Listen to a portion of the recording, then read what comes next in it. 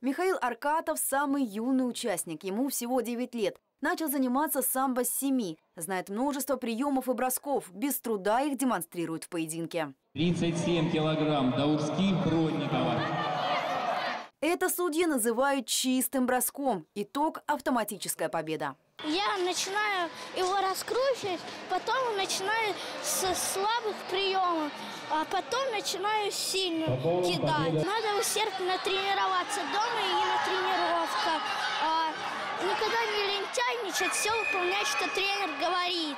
Всех участников объединяет желание заниматься любимым видом спорта и мечта попасть в сборную России, стать олимпийским чемпионом. Анна Краснорудская – гордость региона. У меня очень много наград, у меня 52 медали, много соревнований, международные турниры, всероссийские турниры. И сегодня она тоже лучшая. Помимо золотой медали, награждена еще и специальным призом от фонда поколения Андрея Скотча за особые спортивные успехи. Благодаря поддержке фонда только в 2017 году более 1400 дзюдоистов и самбистов приняли участие в 66 турнирах различного уровня. В область они привезли 300 медалей, 99 из которых золотые.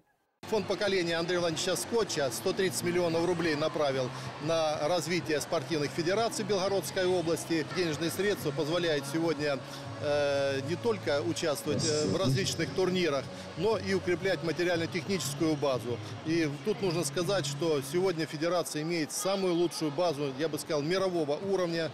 Это дворец спорта Александра Невского.